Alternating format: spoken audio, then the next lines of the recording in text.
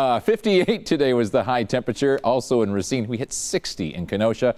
It got windy this afternoon. We were seeing some gusts close to 35 miles per hour, but it was that wind that brought in that warmth throughout the day. Plenty of sun until about 3 o'clock when the clouds started rolling in.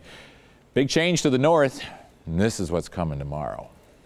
We told you about it. So today I probably would have given an 8 on the Gotter gauge. Tomorrow I'm going to give it a 1. And 1's not good.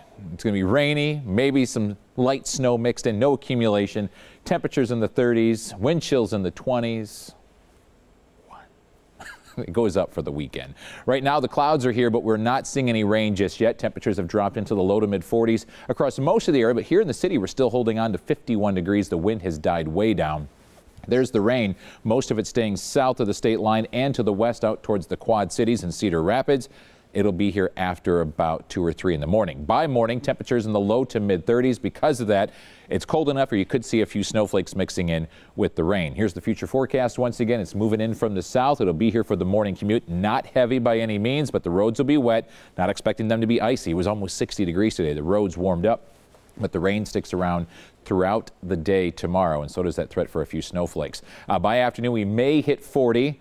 30s across the area as well. The future forecast for Sunday, Friday and Saturday, by the way, look nice. Sunday, while it's going to be mild, will be rainy and it could be heavy at times. Here's your seven day forecast. Not 58 tomorrow like it was today. 39, windy with rain and some light snow. 50 on Friday, afternoon sunshine. 58 on Saturday, 64 inland. Enjoy it. Make your tee times. Just be outdoors. 62 on Sunday, but it'll be rainy.